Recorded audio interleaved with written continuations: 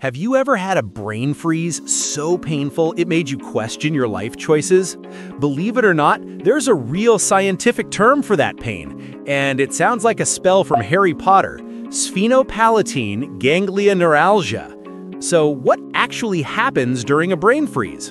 It starts when something extremely cold, like ice cream or a slushy, touches the roof of your mouth.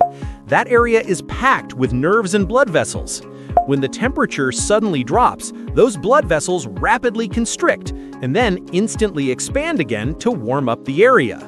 That fast change sends pain signals through the trigeminal nerve, a nerve that also senses pain in your forehead.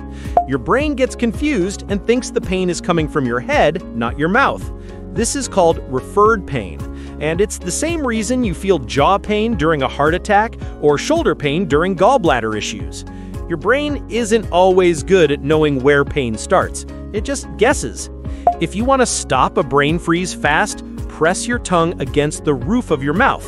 Your warm tongue helps heat the area again and reduce the nerve reaction.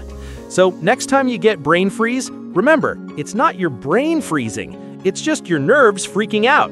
This is just a fact. Follow me for more fun fact videos.